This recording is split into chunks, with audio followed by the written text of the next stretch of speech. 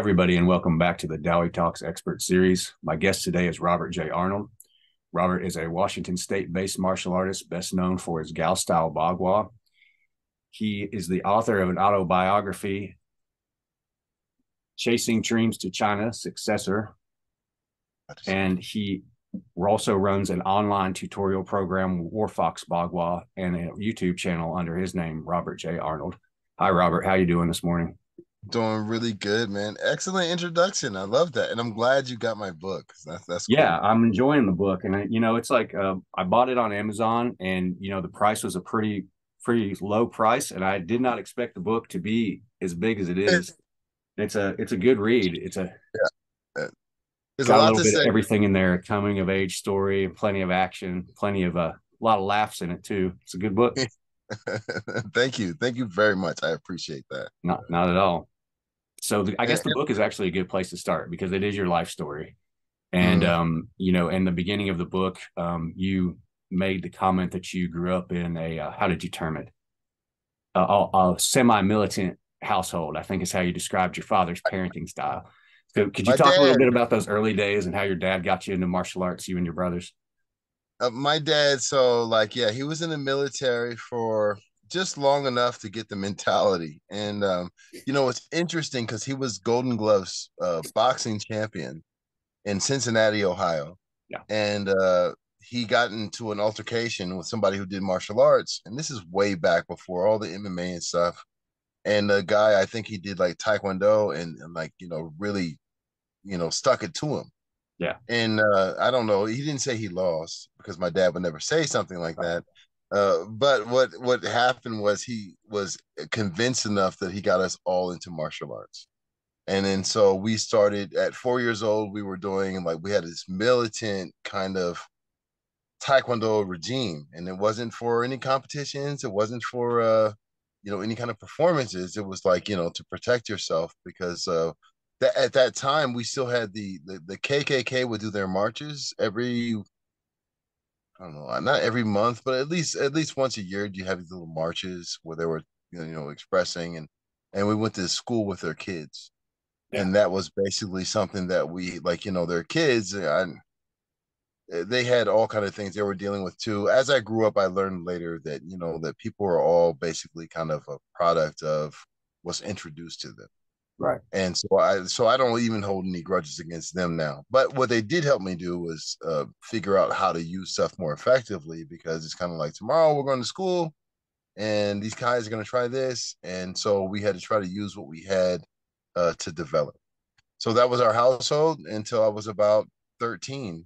And when I was 13, we moved to Washington State. And in Washington State, I found out that like wow, America, like you know, is it's not all like that. And uh, you know, I had a lot of friends, and uh, we we had a lot of fun. And then at the time, martial arts became more like a a journey to something that I wanted to explore deeper into. You know, um, I mean, I can keep going because this is like you know, it's yeah, please like, do. it's in the book. Yeah, you know so from there, um, I started training. Uh, I started teaching martial arts here. I got into a bunch of different styles.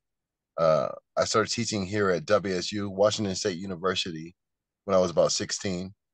And, um, you know, I got to a point where I realized, like, wow, I got all this good information. And now, how am I going to pass this on? I'm going to learn more.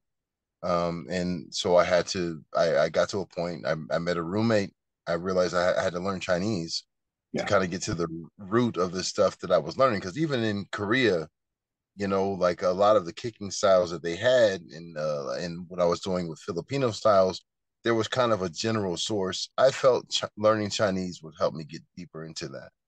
Learn Chinese, and uh, I went to Taiwan, and I when I was about 22, 23, and then um, you know, I I found Bagua, which is right. the style that I represent now.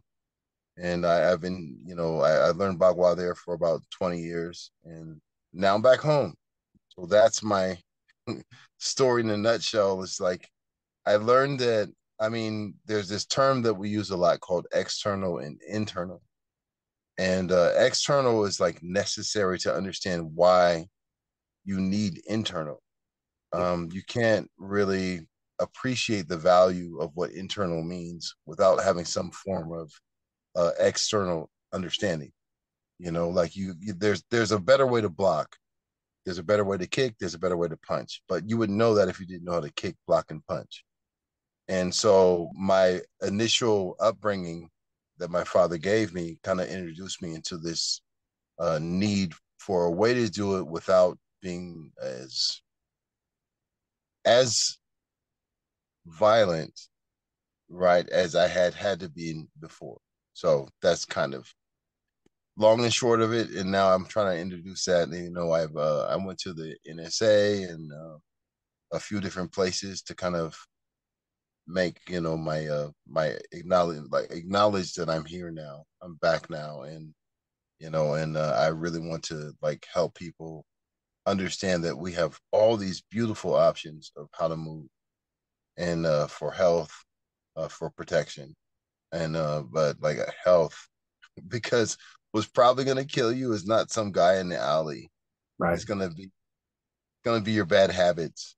It's gonna right. be the things that you haven't really uh, taken over in your life, and you know those things can we can call it hereditary, but like we get these things passed down to us and now it's laid upon us and it's like how are you going to get out of this situation it's the same I, I, don't i don't see any difference between getting out of a wrist lock and getting out of a, a, an addiction uh, they're they're very connected because basically there's a path that there that will lead you into your freedom and that's what training every day is about you know and, and in china and going and talking to monks and all that other stuff it comes down to that. Like you are gonna be the biggest uh, obstacle in your life.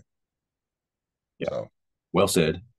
And I totally agree. Uh, this is one of my teachers, um, early teachers, put it to me that it's like um, playing poker. You know, you get dealt a hand in life. You know, being your genetics or whatnot, your genetic predispositions, but you still can use the hand that you're dealt to, you know, to win, yeah. so to speak. And, and that's that's where your martial arts comes into play. You know, controlling the things that are under your control. Absolutely. Um, so when, when, going back a little bit, when you were younger, you know, you did have to fight some, you know, for self defense.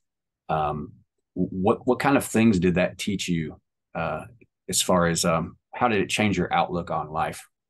Because I, I remember at one point early on in the in your book, you talk about how you you had this sudden realization that most people didn't know how to fight. You, you got into a fight and you were like, wow, you know, you, you realize that you're sort of light years ahead of people just because you knew some, you know, you had some basic skills at that point. How did that change the way that you interacted with other people? How did it change your outlook? Well, okay. I mean, there's there's multiple aspects of this. Uh, I would say one in in in regards of how I chose to uh what the next style would become for me. Um, when I got, I had an altercation. My brother had an altercation, oldest brother. Somebody grabbed his leg, and uh, when he was throwing the kick, because we are doing taekwondo, threw him down to the ground, and then got on top of him. And uh, after that altercation, he really got into uh, grappling. Like now, he feels like you know, like it's necessary for him to know how to grapple and everything else like that. Um, and and uh, he got his brown belt in jujitsu. He's about to get his black belt. Uh, like that affects him, you know, like for the rest of his life. My brother yeah. Aaron, same situation. Somebody grabbed his leg, and then he he countered and threw like you know some punches and and and knocked him down. And then after that, he got into Wing Chun, and so Wing Chun became kind of his answer for his equation of how things happen to him. For me, uh, I threw a kick, somebody grabbed my leg, and uh, you know I threw a bunch of fakes and tricks, and so for me it became more of like kind of deception, um, which is what Bagua is really about. It's like I want you to go this way and that way. So that changed how we would go into our journey of what martial arts meant. You know, like for him, it was the the grappling and then the, the striking. For me, it's just like you know trickery. That's why I'm the fox. You know, the Warfox. Like I'm I'm going to trick you into thinking that you are into this and we're into that. But I think that more importantly, if we could all get to a page where where understanding ourselves like i think that understanding ourself is so is so difficult because we have these distractions of like you have the news and you have these moods and the moods are so um they're they're they encompassate you. They make you feel like i am this mood. I'm very angry about trump. I'm very angry about immigration whatever it is that feeling and that sensation is going to become uh it's going to be active in what everything that you're going to do is. And so if you can kind of just use your art which is like for like every day i train. I i just finished training. It's it's not because it's cool it's not because it's fun it's not because it's uh, i'm not making any money from it but i'm i'm a train again tomorrow and the, what i get out of it is the filter the filter of like okay what is really me when i'm all by myself and nobody's around and nobody cares and there's no benefits except for what I'm doing in myself. And that lets me see clearly, like kind of like what I need to do next in my life. So I, I always use this as a basically as a, a spectrum of where I'm going to go to next and and what this is really all about. I hope that answered the question. I don't know if I was roundabout. No, it, it did answer the question, and it, it it's kind of ties into what you were talking about with deception. You know, um, deception is a, a tactic or a strategy in fighting, but you also in learning that sort of things, you, you I think you can kind of learn how you deceive yourself, and, and training is a way to to break out of that because you you can't can, you can't fool yourself. You know, when you're training, yeah. especially in something like martial arts, you know, it's it's working or it's not working. There's there's no self deception. Absolutely. Absolutely. so you know you, you mentioned that you train in a lot of styles and you know speaking deception you know you train in ninjutsu a little bit and and jeet kune do i think. Um what was it that you thought was missing in your art that caused you to learn chinese and decide to go to taiwan? Oh that's a really good question. Uh geez. Like um i i realized that i i was learning so I was learning so many movements from uh the I even brought Bruce Lee's book, you know, the Jeet Kune Do thing, the, the Jeet Kune Do way. Um, I like I had my black belt and I was getting my black belt in another style, and I just felt like the there was always this information that was written down on our tests. We had these like tests where we had to write. There was stuff that was written down. It was like it was either in Korean, it was in Japanese, it was in all these other languages and i was kind of like i could even ask questions like well what does this really mean? I don't know this word here. I don't understand this. Can you explain it to me? And they didn't really know either. And then i realized it's kind of like okay well i have to get past the middleman.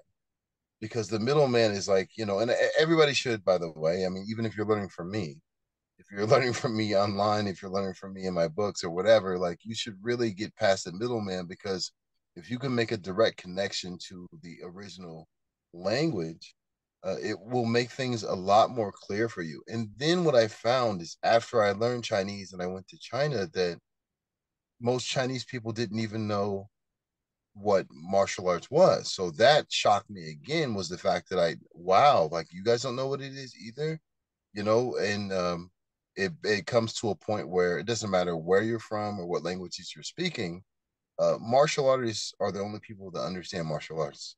It's not a cultural thing. It's not like you automatically inherit uh, an understanding of some kind of viewpoint or style because you grew up in a particular country. And you know, I spent my whole life then after that's that's kind of a reason why I became the headmaster of Bagua from my lineage only, by the way. You know, because uh, my master's uh, son was not interested in passing the art on because he wanted to make money, which is completely reasonable, you know, because you're definitely not going to make money teaching martial arts and passing on traditions. That's not that's not where the money is, you know, unless you figure out some way to make it into some kind of massage therapy that everybody wants, right? Martial arts is kind of a dying trade. So I felt that I had gotten so much from it I just wanted to keep it birthing and growing into other individuals. And that's what I'm basically doing here now. So when you got to Taiwan, how how did you how did you find your master? How did you find your teacher? Um, did you train with other people to begin with? And there, okay, I want to do this the best I can without naming any names. Okay. Right. Because, Understood. Okay, right. Right. Yeah. Uh, but when I first got there, um, I didn't really know what to look for or what I was looking for, but I was uh, I knew that I was looking for Bagua, and I didn't know where it was, so I kept asking questions. I lived in the hostel for like six months. I was asking other people about it. They all pointed me into a direction of a guy. Um, I worked with him. He was uh, he was a very you know nice guy, friendly, and uh, the most popular guy, even still probably in Taiwan. And uh, but I felt myself because when I got to Taiwan, I had already been practicing martial arts for 20 years. And I felt like, well, there was something still lacking. Like there wasn't a you know when you know somebody knows how to fight. Like you know that, right? You know, and you know when somebody knows uh, uh, details and information. I mean, in what I've my experience, there's so many different types of masters. Uh, some of them are really good at uh, collecting swords. Some of them are really good at, you know, meeting up with other people and holding events. And some of them are good at, you know, uh, just practicing the style, maintaining the style, passing on the style. It goes on and on and on. But they're all masters in their respect because we kind of need everybody to do a part in order for everything to be maintained and um, I wasn't feeling like like you know for me because my background has been like I was always self defense like I had to protect myself, and if you couldn't speak that language to me, you know I I didn't really understand. You know, not to say it was anything wrong. I just like I I'm not uh, I'm not planning on doing it for this or that alone. I need to know how to teach my kids now who are in the art uh how to protect themselves from from danger and uh, I I I ended up finding this is embarrassing almost, but I'm going to tell you because I'm going to be honest because this is this is our broadcast. I saw a girl uh, on the train, and uh, you know she had muscles, like real muscles, and I'm thinking like, wow, this girl has muscles. Because in Taiwan, it's been a long time. I haven't seen any muscles on a woman, like you know, never. So I, uh, you know, like talked to her a little bit, and uh, I see that she's teaching boxing. I'm like, that's cool. We start doing some combat back and forth, you know, kind of trading a little bit. And she threw something, and I hit her with a bagua move that I had learned from China when I was an exchange student. And she was like, you know bagua, and I was like, just a little bit. And she was like, you need to meet my master. And then after that, she uh, introduced me to Wu Guozheng, who's my master, and um, you know, like he really broke it down in, in a lot of ways and aspects that I could understand in health and combat and everything else. So I trained with him for the, you know, the next 10 years. Uh, but really, um, that introduction through that girl, and you know, it was sad because she stopped training, she got married, right? And she got she got married and she stopped training because her husband said that her muscles were too big. And I was like, I ha- I can say nothing. I can say nothing. I'm just gonna move on with that, you know, whatever. But uh, but it was my introduction, and it was a good introduction, and uh, yeah. So, so for people that are watching and listening, could you describe how your lineage of Bagua differs from, uh, say, like Chung style or Yin style? Is there something that a, a lay person could pick up on by watching it? Okay, so well, one in Gao style, we always like what what makes it different than the rest of the styles is the, the whole idea, of the concept of pre-heaven and post-heaven, right? Um, and that was kind of introduced by Gao Yisheng. Uh, and he really, you know, he had thousands of students. Um, so it went from my lineage, let me it went from Dong, Dong Haichuan, Cheng Tinghua, and then Cheng was the, the the next guy after Dong, after Dong had been teaching it in the Imperial Palace for a while. I think it was Palace of Su. And then, um, but he had the four students, In, Chun, and two other guys. One of the guys was really, um, he had he was really well off financially, so he didn't need to pass the style on. And the other guy, um, please don't quote me on this, or, but we're recording, so I guess you are quoting me on this. He had a temper and he uh, he wasn't very good at passing it on either. There's all kind of rumors and myths that he got killed by somebody sent from the Shaolin to stop his evil practices. Blah blah blah, whatever. There's a billion of those kung fu stories. But so in In and Chun were the guys. Then they passed it on to Gao. Now Gao learned from Chun. He uh, said that he met a guy named Song Yiren. This is written down. This is what they say happened. Song Yiren had figured out the 64 palms uh, a different way than just the circle, right? Now, uh, whether you believe it's true or not, this mythical character had given um, Gao the way to practice within a straight line. And so the straight line breaks down for us into uh, eight different sections. So you have heaven, water, mountain, thunder, wind, fire, earth, and lake. And every one of those uh, sections is a philosophy of how it moves. And you can see that in my book. So especially in my my book, uh, Master Trades for Lawless Outlaws, that's how I'm introducing it. Um, but basically, heaven is like direct, straightforward, uh, striking, um, hitting, um, honest connection. Water is related to kind of manipulation of the hands, flow of motion, arm locks, joint locks, uh, stopping things as they come in. Mountain is counter counterattacks. Like you are in your position, you will not change, right? Uh, thunder, vibration, you know, through the body, through how you resonate your power, how you can hit and shake through somebody, right? Uh, wind is the way of the elbows. And I know we think of elbows as kind of like a colliding force, but elbows in Bagua are used more of circling and swirling to get somebody in a better position. Uh, fire, kicking, leg, well, kicking, tripping, legs, uh, pulling and pushing uh, to burn somebody up from the bottom up uh, you know, and then earth is the opposite of heaven, which is uh, deception, which might or might not be my best style, but leading somebody one way and pulling them to another thing, and then lake, which is depth where you are. So, like you know, we call it footwork. Basically, when you're in the same spot, how you can like if you're fighting in a phone booth, how can you use footwork to get around this guy and basically drown him in your space? So those are all philosophies of the 64 palms uh, that we refer to as post heaven, like after heaven. And pre heaven is the circle. Pre heaven is what you need to create the power because if you don't do the circle, all the other stuff is just like empty, you know, pinatas. It means nothing. It's, it's, it's nothing. So you walk the circle all the time, and then you basically do that uh, straightforward practice so that you can kind of get uh, effective reactions. So that's kind of, you know, that's how it's presented. Um, right. Everybody has different things. I know people, other people will say they have post heaven, pre heaven too. I, I don't know. I just, I read the books, right? I read all of the, there's a lot of Chinese information that's never been translated. And uh, I do my best to translate that for people if there's an audience, but I need the audience first because it's work.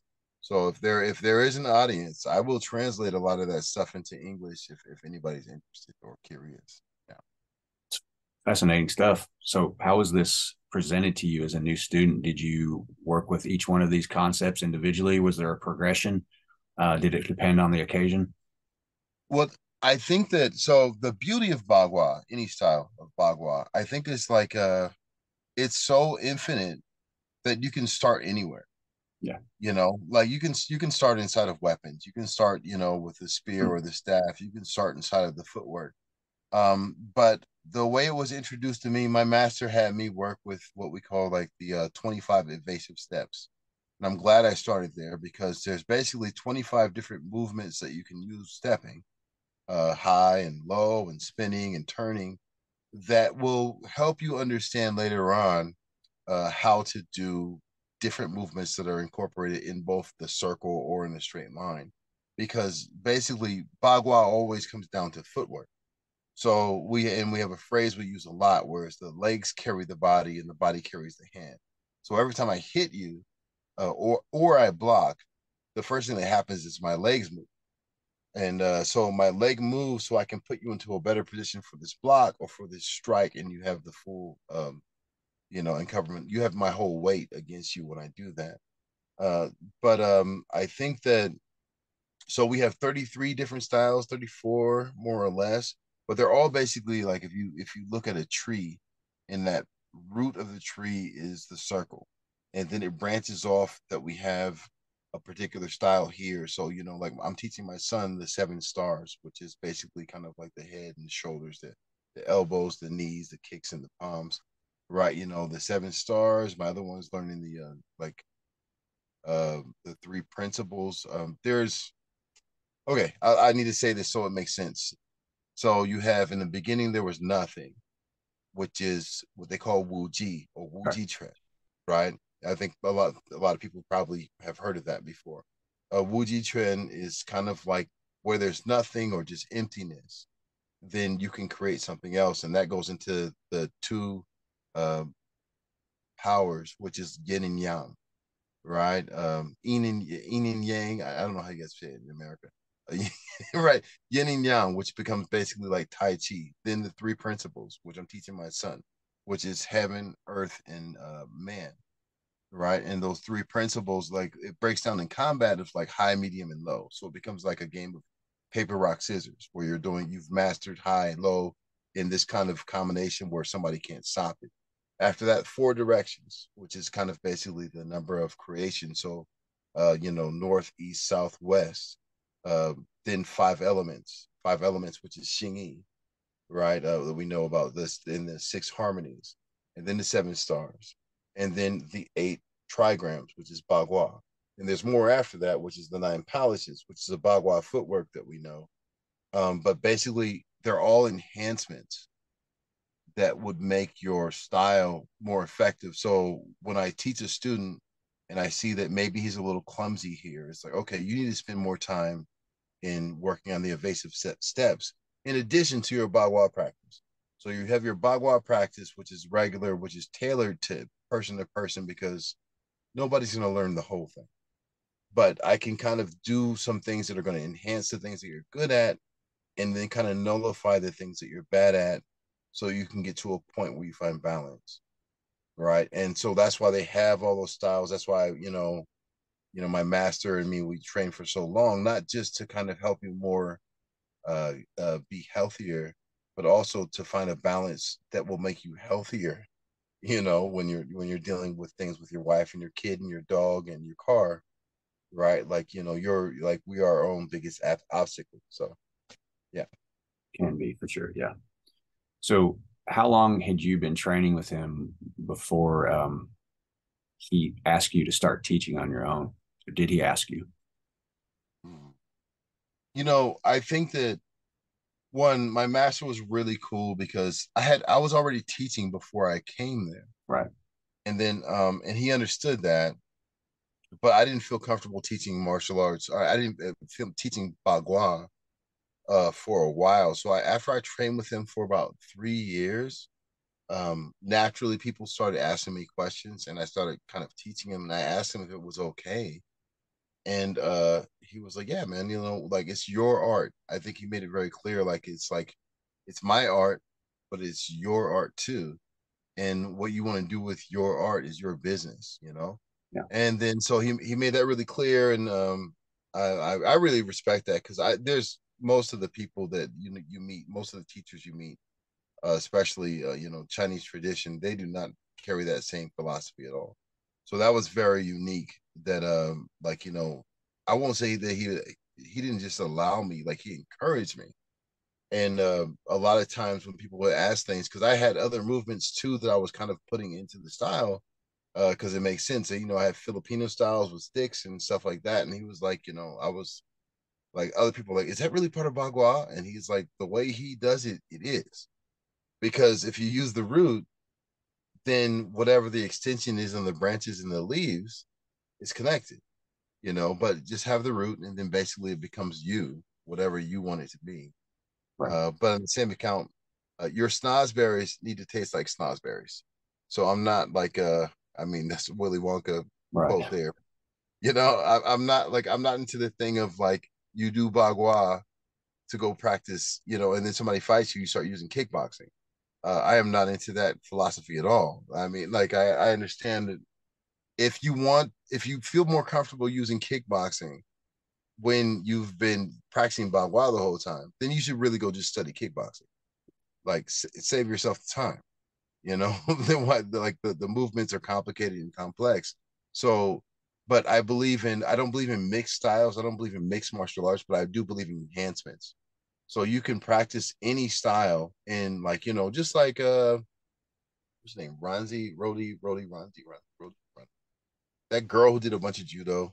Oh, Ronda Rousey. She, yeah, Ronda Rousey. Yeah, yeah. And then she and then she went to the MMA or in the UFC, you know, and then she added some punches and some knees and some kicks, and then her judo was really working.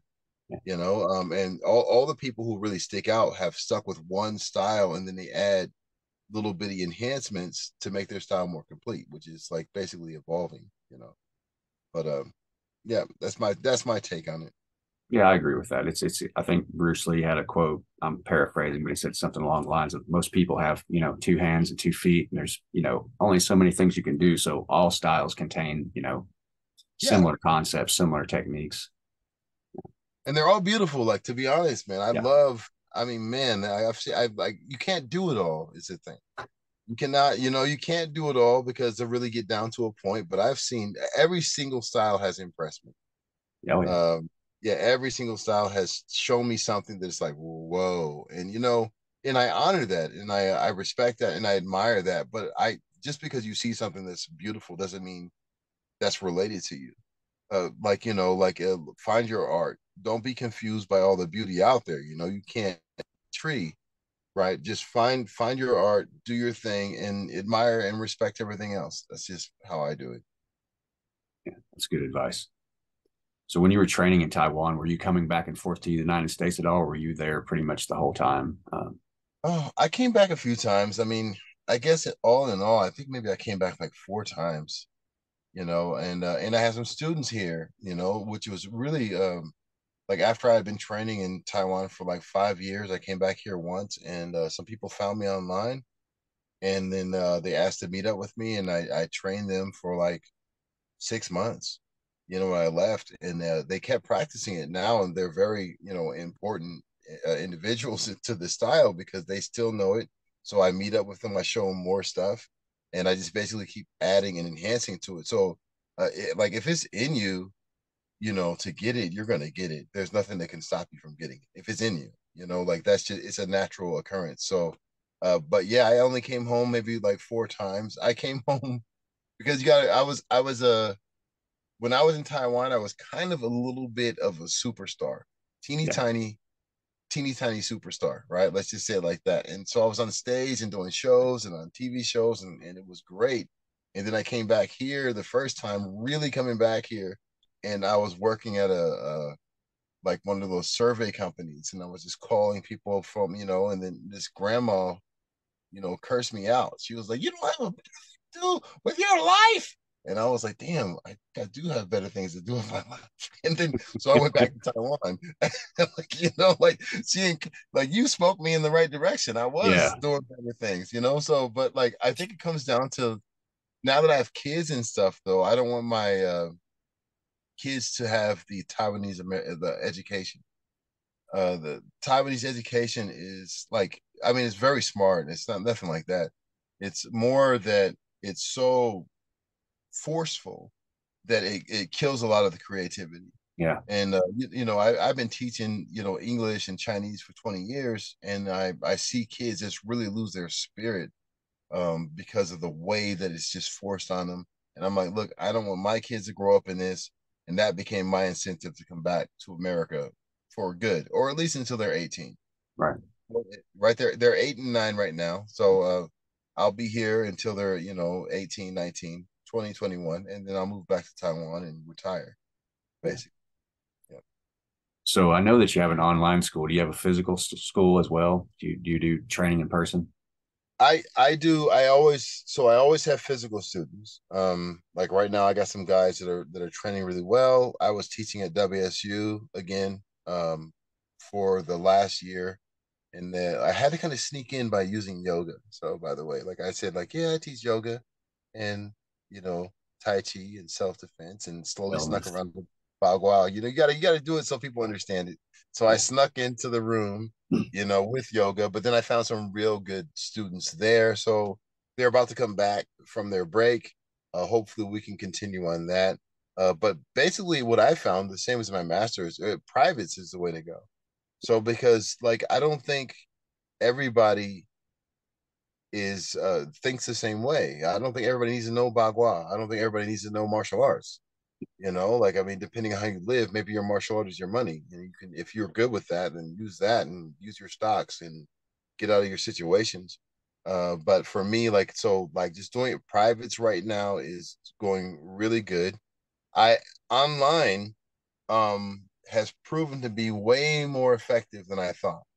So let's pretend that there's a million people in the world that want to do my style of bagua, right?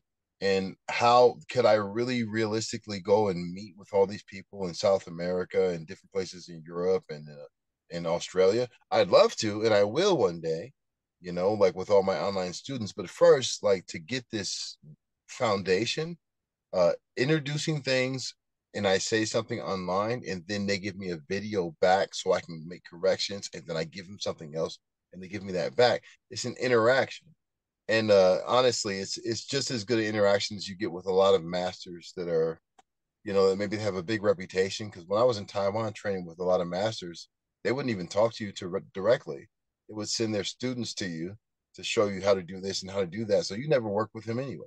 Right. You know, so I, but I think that online is like a, it's not something that any martial artist, all of us, we feel is going to be like, oh, the most effective way to learn. But on the same account, it's like, isn't it better than not learning? Oh, absolutely. And yeah, and then by getting that kind of initiation of like how movements can work, that can inspire you to actually go find somebody in your area that can help complete you, or I can come meet with you. You know what I mean? Like back and forth. So online is is is the way of the future, like it or not. Yeah. And uh, if we, you know what I mean, if we don't try to figure out a way to let people understand who want to be next to us, you know, we're going to go the way of the dinosaur. So, yeah.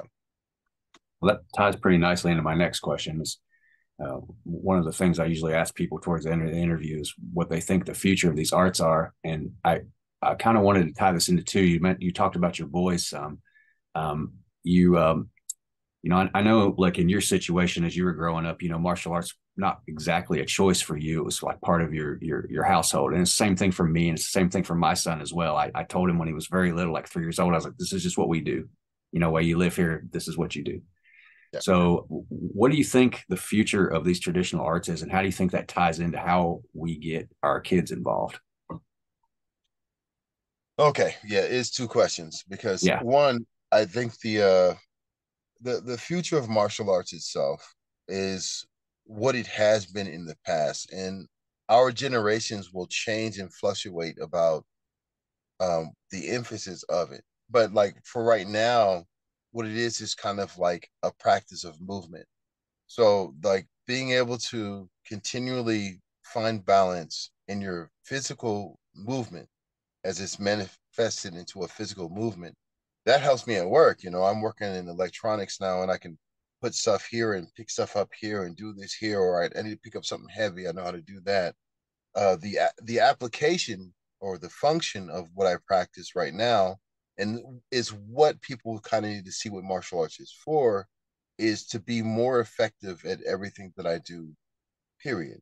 Even fishing and uh, playing pool. I think the only future, you see what I'm saying? Because you're not gonna if you're you're not going to get into a fist fight, hmm. probably. But if you are getting into a fist fight often and you're not a soldier, right, you're immature. Yeah. There's something going on in the head that you're not learned. You haven't even learned the next level of the martial art. But being able to, like I see now that, like, you know, I'm 44.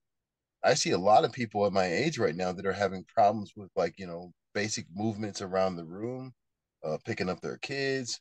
You know, their their wrist is sprained easily. Like so, like for health purposes and being able to function as a dad, you know, um, martial arts will always have a future, and and that's the physical side. The mental side is the like doing something over and over again when it's raining, when you break up with your girlfriend, when uh, you know, you have a car accident uh, just continuing to practice actually instills a sense of value in yourself. That you start to realize that whatever your situation, whatever your job, whatever your status, uh, single or married or whatever, you start to see that I have this value, and regardless of how the world changes, I will stay the same on this line, and um, and that gives and breeds, which is always done, confidence and and direction. Now, as far as kids go, um, you're basically sharing that with them. Like with my kids, like how do I get them into it? Just like you said, um, how do your kids, you know, learn English or math? Like they didn't have the choice. Right. It wasn't like they chose to say like I'm going to go to school and I'm going to learn all this stuff. No, you get to school. It's illegal for them to not be in school. If they're not in some form of school, what I found out as after I was a dad, you know, people will call you and say, "Hey, why are your kid not in school?" I'm like, uh, "Is that any of your business?" Like, yeah, actually, it is my business. I'm like, "Oh my gosh, okay." I don't want to get into that. So, right. but the reality is, is like, so if you have to do school, then you have to do martial arts too. You know, like, uh, and until a point, until you get to a point where I feel like you can physically protect yourself easily, and you understand the concepts that I've introduced and that's probably around like the same my, my dad did with me when i was 13 it was a choice.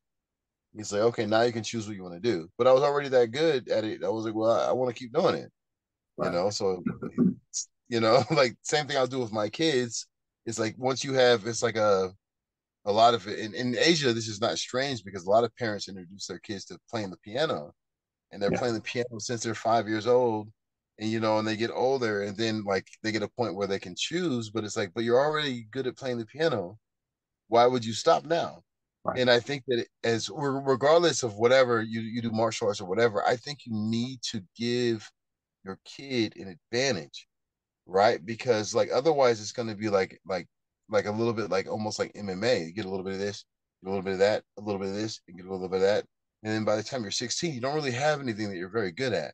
Yeah. You know, you've experienced a lot of stuff, which is good. But if you can give them something over the years that they have to kind of keep uh, going into, and this goes into the late section, right? Finding depth in something that will let you find depth in everything else, right? Like, what does it really mean? Why are you practicing? What does it come down to? And it's really just between you and the universe.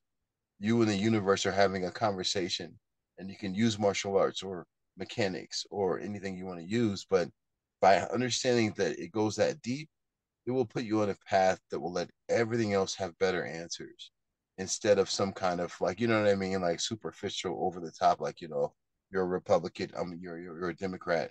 See things a little bit deeper. Right. See what the, the what the human figure is really about and then you'll be able to come up with a lot better answers. So that's what martial arts, as I see, is, is the future is is people coming into an understanding of what it can help you with in your day-to-day battles because it's about combat your day-to-day battles you know? And uh especially with confidence or like addiction or uh like you know anger issues whatever you're dealing with that can help you overcome those and that can help us all evolve as a society. So uh, like the way that yoga has been introduced as a way to kind of like you know take away tension and stress. And now everybody's doing yoga, sure. And eventually everybody needs to be doing martial arts. Um, not just for self-defense, but to see that you can progress in your own life. Well said. Robert, it's been great talking to you. We're just about out of time. Would you like to tell people where they can find out more about you and your teaching? Well, you already mentioned my uh so my online program at warfoxbagua.com. You can get on there. I'm going to be adding I'm going to add every single movement uh, in my style, which is 2,500 movements to be over the years. And I need, if you go there, feedback. I want you to show me what you're doing so that we can make sure we're all making progress because you're representing me. I'm representing you. We're all having a good time. Uh, my YouTube videos, I'm not on YouTube as much, but I still put stuff up. Facebook is easiest to find me if you want to ask me a question. Robert Jay Arnold, J A Y. Add me on, and you know we can talk about anything you want to talk about. Uh, doesn't have to be martial arts, uh, but I'm married, so don't get free. All right, Robert, it was great talking to you.